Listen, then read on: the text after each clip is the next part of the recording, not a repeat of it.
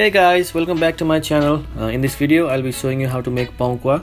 Uh, is a very famous Nepali dish made with lapsi, which is called hog plum in English. Uh, this is mostly eaten during festivals. Uh, again, thanks to Himalayan Grocery for providing me with lapsi. So let's start making pau quaa. Uh, first of all, we will peel off the shell of lapsi and collect in a bowl. From the inside part, I have made lapsi ko achar on my previous video. You can go check it out.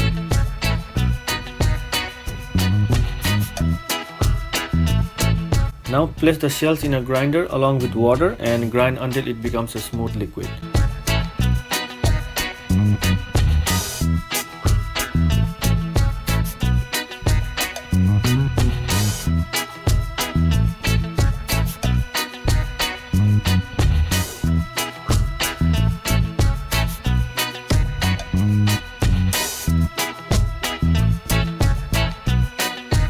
Uh, then you will heat oil in a pot and toast some fenugreek seeds. Uh, when these seeds turn brown, add cumin seeds and dried red chili. After that, you will add garlic ginger paste and turmeric powder and stir it well.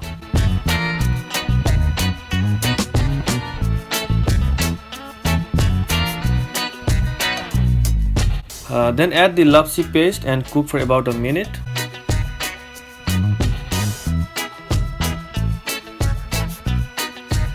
After that you will add salt, red chili powder, sugar, crushed clove and cardamom and you'll keep stirring. Cook for about 5 minutes on medium heat and the pau quaa is ready. I hope you guys enjoyed watching this video. If you guys make this then do share your experience with me on Facebook, Instagram or Twitter. And also don't forget to like and subscribe to my channel and I will see you guys next time with another easy recipe. Bye guys.